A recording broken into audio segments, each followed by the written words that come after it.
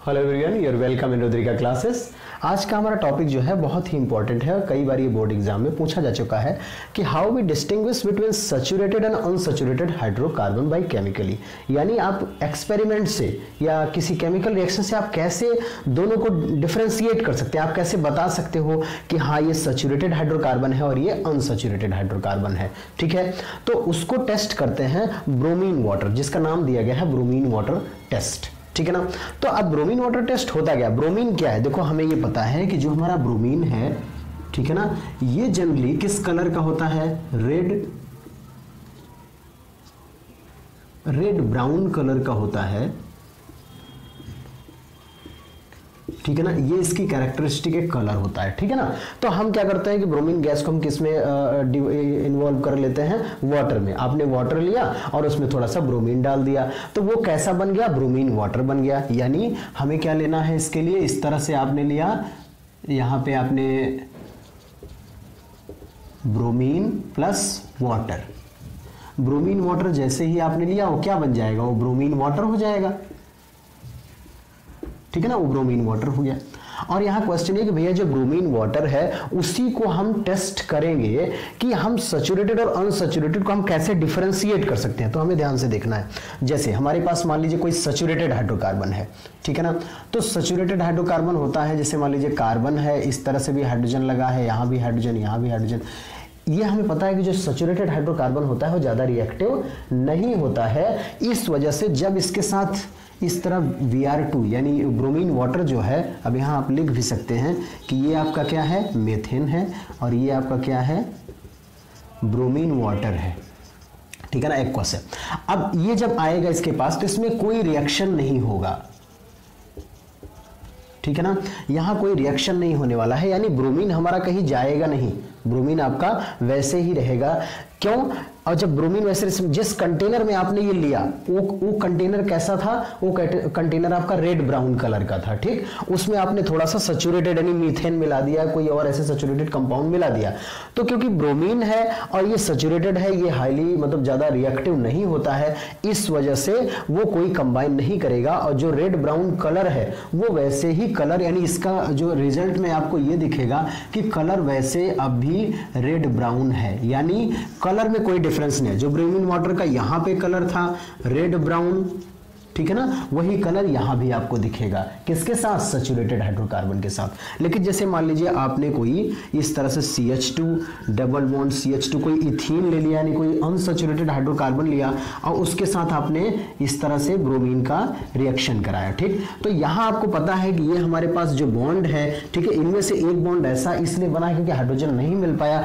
सो ये ज़्यादा रिएक्टिव होता है, जैसे ही कोई सब्सटेंस आता है, ये बहुत अच्छे तरीके से ब्रेक हो जाता है, और तुरंत उस सामने वाले सब्सटेंस से कंबाइन हो जाता है। तो ये यहाँ पे होगा क्या? ये दोनों ब्रेक होंगे और अल्टीमेटली इस तरह का एक आपको कंपाउंड यहाँ पे देखने को मिलेगा। ये हमारा यहाँ पे हाइड्रोजन तो पहले से था CH2H2 तो CH2CH2 था। लेकिन जो ब्रोमीन है, ये जा करके यहाँ पे कंबाइन हो जाएगा। ऐड हो गया ब्रोमीन क्या हुआ? ऐड हो गया। और अब हम इसे नाम क्या देंगे? इसको नाम देंगे ब्रोमो इथेन ब्रोमो, इथेन, हालाँकि यहाँ पे डाई ब्रोमो कर लेंगे क्योंकि दो ब्रोमो लगा है। अब देखो, यहाँ पे क्या था? ये अनसेचुरेटेड हाइड्रोकार्बन था, यहाँ सेचुरेटेड बन गया, ठीक है ना? लेकिन हम क्या कर रहे हैं? हम केमिकली डिस्टिंग कर रहे हैं। तो यहाँ पे आपने ये देखा था कि जो रेड ब्राउन कलर रिएक्शन के पहले था, वही रिएक्शन के बाद भी था। लेकिन यहाँ पे तो कलर रहेगा रेड ब्राउन क्यों रेड ब्राउन रहेगा? क्योंकि आपने ये ब्रोमीन वाटर लिया है, इसकी वजह से रेड ब्राउन कलर रहेगा। लेकिन जैसे ही प्रोडक्ट बनेगा, वहाँ पे डी कलराइज हो जाएगा। डीकलराइज का मतलब कि ब्रोमीन वाटर आपका वहाँ से गायब हो जाएगा। ब्रोमीन यानी जो आपका रेड ब्राउन कलर है, वो अब यहाँ पे नहीं दिखेगा। ठीक है ना? यानी आपने ये देखा कि हम bromine water test bromine water कैसे बनाएँगे? ब्रोमीन को वाटर मिला देंगे तो प्रोटीन ब्रोमीन वाटर बन जाएगा। और इस ब्रोमीन वाटर में थोड़ा सा सेचुरेटेड हाइड्रोकार्बन मिलाएँगे। ठीक है ना? तो उसका कलर जो रेड ब्राउन पहले था, वो बाद में भी रहेगा। ठीक है ना? इससे ये समझ में आ गया कि ये सेचुरेटेड है और इसने ब्रोमीन वाटर को कंबाइन नहीं किया। इस वजह से उसका कलर वैसे ही रहेगा। लेकिन यदि आपने अनसेचुरेटेड कंपाउंड लिया तो वो क्या करेगा? यहाँ पे उसके कलर को डीकलराइज कर देगा। तो हमारे पास दो सब्सटेंस था, ठीक है ना? हमने बारी बारी से उसे ब्रोमीन वाटर में मिलाया। एक बार मिलाया तो कोई फ़र्क नहीं पड़ा। रेड ब्राउन कलर वैसे ही था। तो हमें समझ में आ जाएगा, ये अभी जो हमने मिलाया, ये सेचुरेटेड था। फिर हमने जब दूसरा सब्सटेंस उसमें मिलाया तो उसका रेड ब्राउन कलर गायब हो गया। तो हमें समझ में आ गया कि ये अनसेचुरेटेड था। इसी वजह से इसने ब्रोमीन से कंबाइन कर लिया सो उसका रेड ब्राउन कलर गायब हो गया। तो इस वजह से हम ये आ, मतलब इसको केमिकली डिफ्रेंशिएट कर सकते हैं। आप इसको घर में भी कर सकते हो। कैसे कर सकते हो? जो आपके पास घर में फैट होगा ऑयल होगा है ना? तो यदि आप ब्रोमीन वाटर ले लीजिए ब्रोमीन वाटर को फैट में मिला दो तो फैट हमारा आपने अभी देखा था कि सचुरेटेड हाइड्रोकार्बन होता है सॉलिड स्टेट में होता है जो हमारा फैट होता है वो सचुरेटेड हाइड्रोकार्बन होता है। तो जब फैट मिलाओगे ब्रोमीन वाटर में तो वहाँ कोई कलर जैसे रेड ब्राउन था वैसे रेड ब्राउन बाद में रहेगा, यानी उसका कलर गायब नहीं होगा। और जैसे ही कलर गायब नहीं होगा, आप बोल दोगे कि आपका सचुरेटेड है।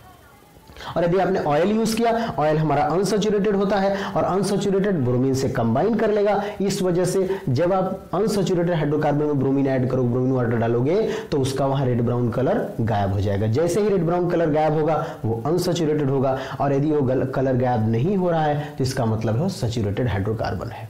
ठीक है? तो इस तरह से हम कई तरह के रिएक्शंस देख सकते हैं। एक हम यहाँ पे क्वेश्चन लेने वाले हैं, वो रिलेटेड है आपके एडिशन रिएक्शन से। जनरली क्योंकि यहाँ भी जो आपने इसका कलर चेंज हो रहा था अभी ब्रोमीन का, वो क्या था? एडिशन रिएक्शन का ही था। ठीक है ना? जैसे मान लीजिए, यहाँ पे कुछ कंपाउंड्स लिखे हुए हैं। जैसे यहाँ पे लिखा है C two H four C three H eight C four H ten या ये लिखा है सी फाइव एच टेन या ये लिखा है कि सी थ्री एच फोर इस तरह कई हाइड्रोकार्बन दिए हुए हैं। यहाँ आपसे एक क्वेश्चन कर रहा है कि ये बताइए, इनमें से कौन ऐसा है जो एडिशन रिएक्शन देगा? ठीक है ना? क्वेश्चन ये है कि इन सभी हाइड्रोकार्बन में से कौन ऐसा है जो एडिशन रिएक्शन देने वाला है? तो एडिशन रिएक्शन हमेशा किसकी प्रॉपर्टी है? ध्यान रखना है। अनसेचुरेटेड की प्रॉपर्टी है। ठीक है? यानी यदि वो अनसेचुरेटेड है एल्कीन और एल्काइन है तभी वो एडिशन रिएक्शन देगा। कभी भी आपका सचुरेटेड कंपाउंड एडिशन रिएक्शन नहीं देगा। ध्यान से देखो इसमें सेचुरेटेड कौन है।